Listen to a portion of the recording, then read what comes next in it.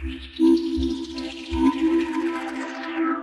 up YouTube? Today I've got a really fun tutorial for you guys. We're going to be tackling this sci-fi themed render and what we're going to make is a sort of abstract animation of kind of a fusion core, the kind of thing that you, like a power core that you see in like all the weird sci-fi games.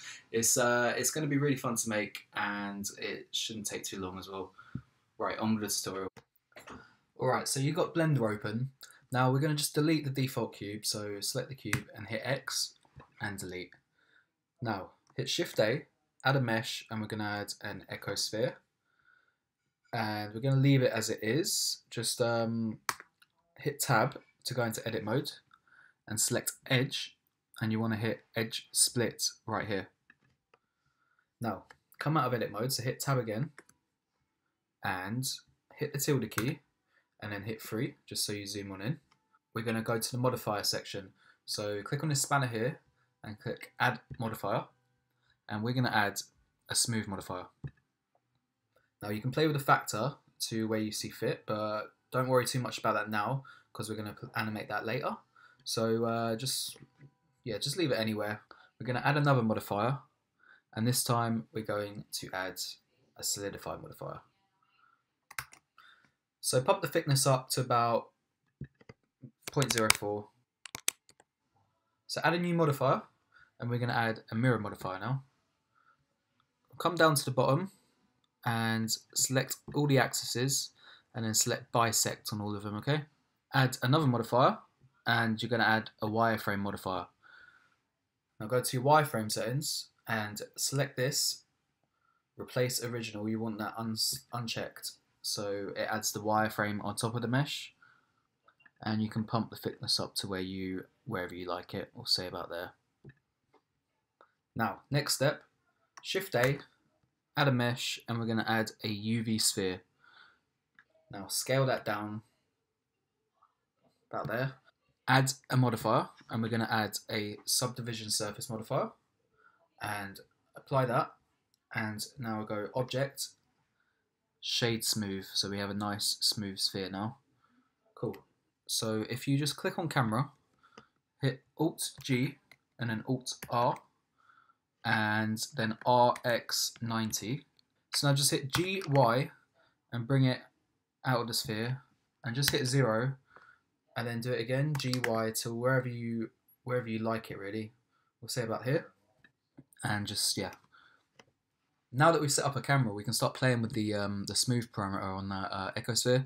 So you can see here, we can do these sort of weird sci-fi sort of animation styles. So we're going to come down to the timeline here and we're going to make this a 5 second clip. So we'll set the uh, end frame to 120 and just bring that timeline up and we're going to just animate this really quickly. On the first frame we'll bring the factor around here to 0.07 and make sure you're on for the first frame. Now hit I with your mouse hovered above the factor to apply keyframe and we are going to do a very simple animation of it opening and closing. So bring this to 61 and bring that factor up to about, we'll say about there, and hit I on that to add a keyframe. Now click on this keyframe, hit Shift D, and bring that to 121. Uh, hit A on the keyboard, so you select it, all the keyframes, hit T and change that to Bezier now. So we're going to get a nice smooth sort of open and shut.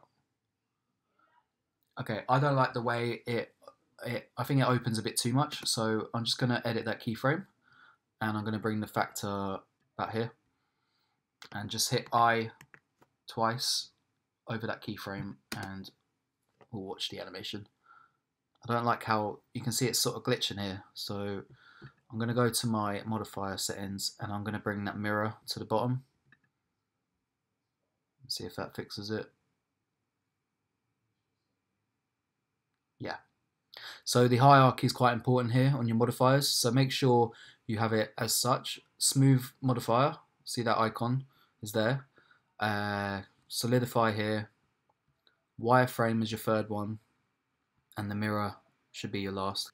Alright, so make sure you're at frame 21 and we're going to just we're going to animate the rotation now. So come to your transform settings on your Ecosphere and on rotation we're going to rotate it on the Z axis. So apply a keyframe on the Z axis on frame 21 and come to frame 101. Set that to 720. Now just make sure you're on Bezier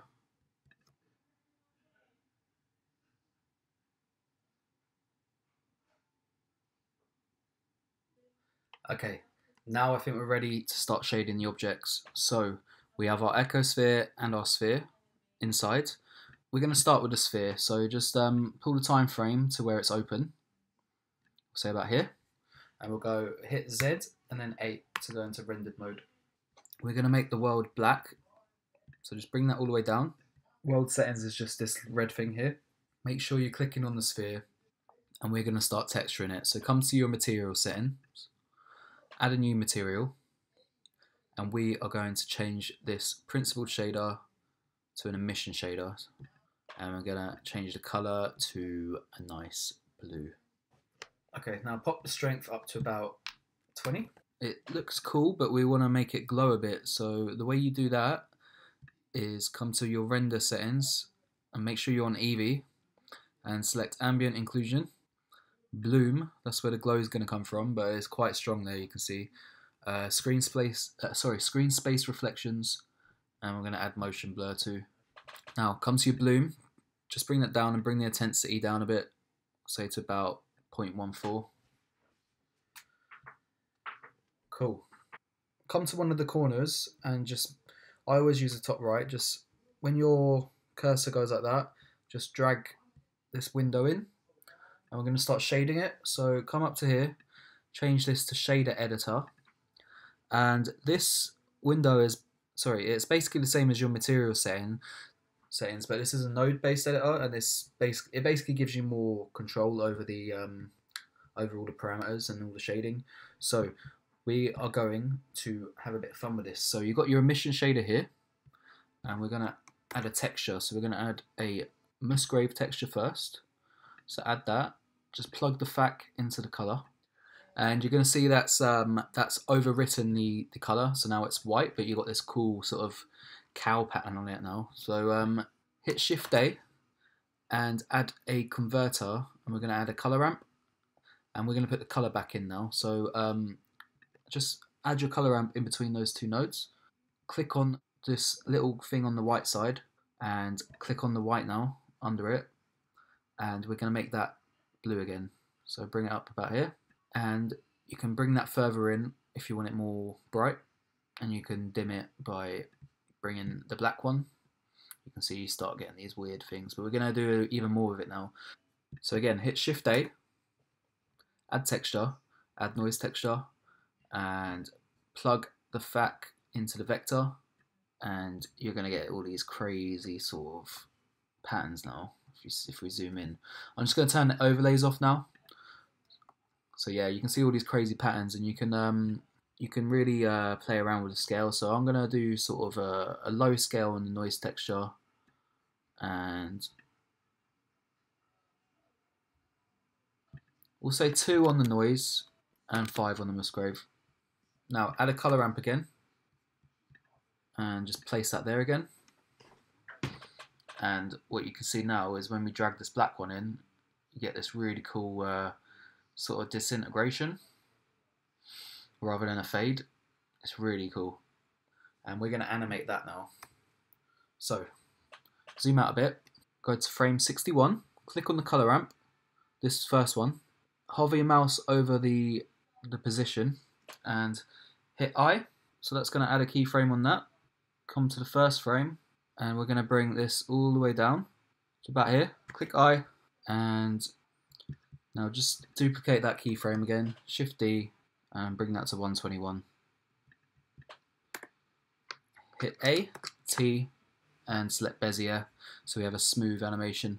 Now if you're not seeing these keyframes, make sure you have your sphere selected and your color ramp selected. If you play that, you're going to see this really cool thing.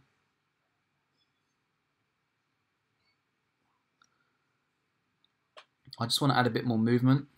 because you can see the uh, the texture stops moving there. It's you can keep it how it is, but I'm gonna I'm gonna add a bit more. So make sure you have Node Wrangler installed. So if you go to Edit Preferences again on your add-ons, just search in here, search Node Wrangler. Just make sure that that bit's checked. Uh, it's just gonna make it a lot easier for you. Just all you got to do now is click on this noise texture and hit Control T, and you get a mapping node. This will allow you to um, animate the position of the texture. On the rotation, on any axis, we'll do the Y in this case. Hit I, come to one, uh, sorry, come to your last frame and do 360, so it's a seamless loop on the rotation.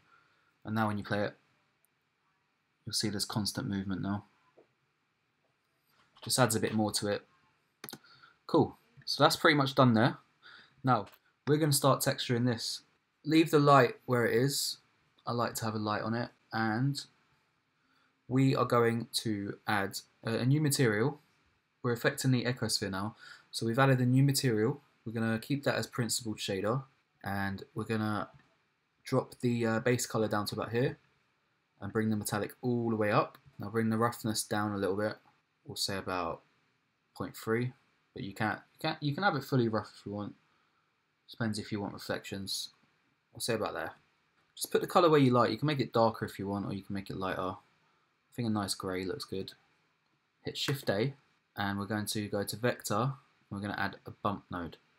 Plug the normal into the normal, and hit Shift A, texture, and we're going to add a Voronoi texture. Plug the color into the height of the bump node, and you're going to see this cool crackling effect. You can play with the scale and just put it wherever you like.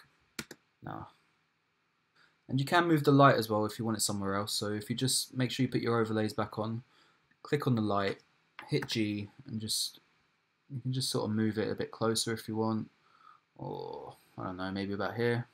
It's up to you really. It's wherever you like it.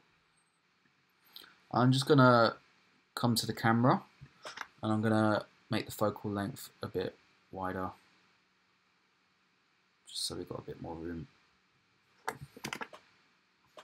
Okay, I'm gonna wrap it up there. Only thing left now is just to play with a bit with the color settings. So we're gonna make the color manage come to the color management in your scene settings and we are going to make it high contrast and just drop gamma to 0.9 and then all you got to do is actually render the file. So if you come over here to your render settings make sure you're saving the file somewhere that you can find it. So I just got this thing called blender renders.